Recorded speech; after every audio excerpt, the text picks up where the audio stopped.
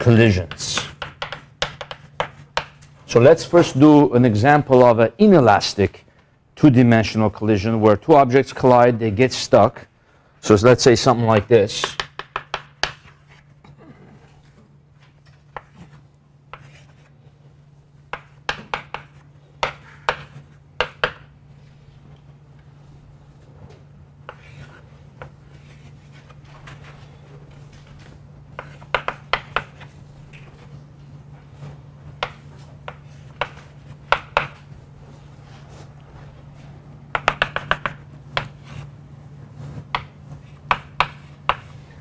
Let's say two kilogram object going and uh, it's going at three meters per second and then two, uh, five kilogram object moving at two meters per second 48 degrees.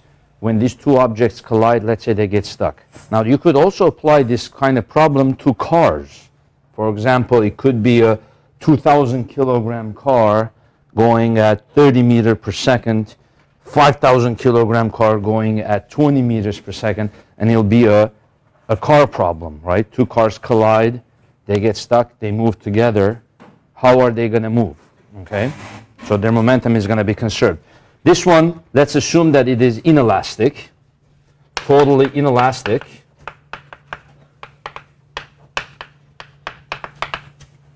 So find for me, number one, find, find the V final and its angle in which direction are, is the system going to move, and also find the percent loss of, let's make this A, B, A, and then B, find the percent loss of kinetic energy.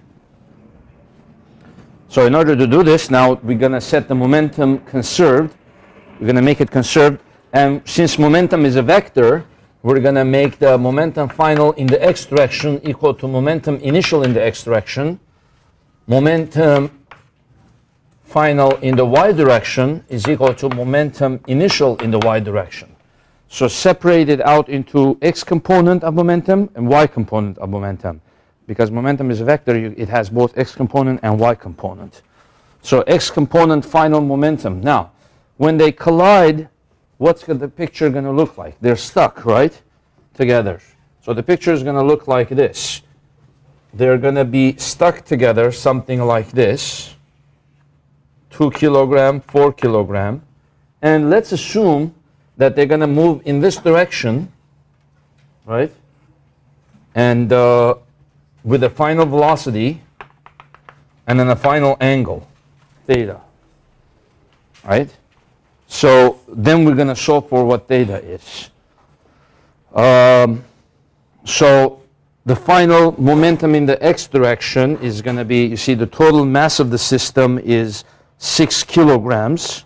The final velocity is v final. And then the x component is going to be cosine theta. Right? So pf x is going to be 6 um, vf cosine theta P initial x is the initial momentum in the x direction, which is uh, 2 times 3, that's a positive, right? That's uh, 6. And the momentum of the other object, the 5 kilogram object, is going to be 5 times 2 times cosine of its, well, cosine of its true angle, which is going to be here uh, 100 and 32, right? 132.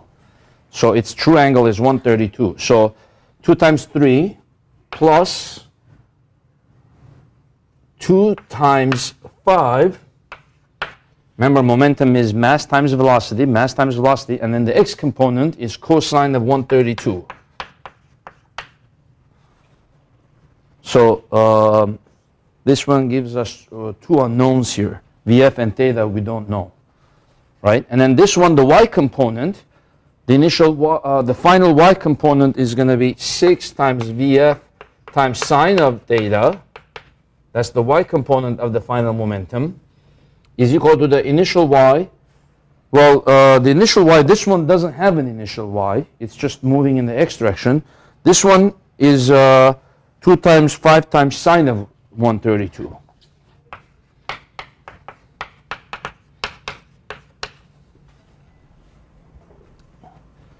Right?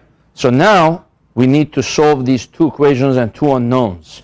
We could, uh, how should we do this here? We could actually take this, put it on that side, and divide it, right? We could get something like this. 6 VF cosine theta is equal to, uh, this one is going to be 6 plus 10 cosine of 132. And then divide these two equations. The reason why I want to divide it is that the VF will cancel. And then the 6 and 6 will cancel. Then you will end up with tangent theta, right? Tangent theta is going to equal this, the VF will disappear. Tangent theta will equal 10 sine of 132 divided by 6 plus 10 cosine 132. So now calculate what that is, then take its inverse tangent, and that gives you what theta is.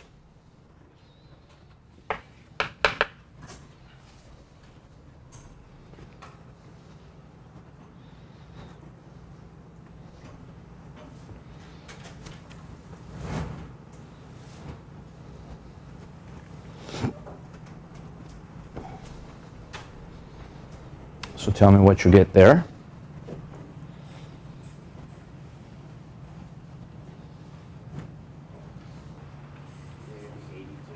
Negative 84. Oh, that means that one came out to be negative. Came out to be, okay, negative 84.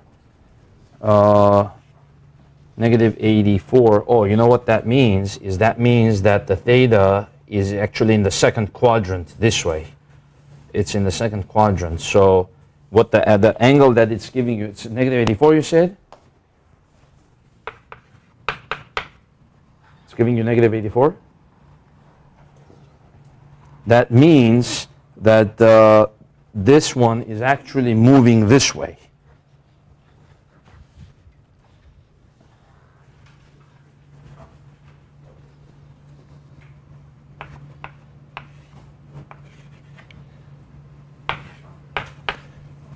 And the, calculator is giving you this angle. Negative 84 you see? So the system is moving this way at an angle greater than 90 so to get the true angle I need to add 180 to this. And you get uh, 96 Yeah, that's the actual answer, 96. The reason why it's moving this way is because the x component of the momentum of this probably was greater than the, than the x component of this. This one was 2 times 3, which was 6. And then this is 2 times 5, which is 10. So that's a bigger number. And then 10 times cosine 48 is bigger than 6, probably. If you check, you should be able to see that. 10 times, uh, so the, the to the 5 kilogram one because it is heavier. Okay, so now once you get the theta, then you can put it up here and solve for the V. We want to get the V also, right? So 6 times VF times sine of 96 is equal to 10 sine of 132. I'm putting the angle back 96 back into there and now solve for VF.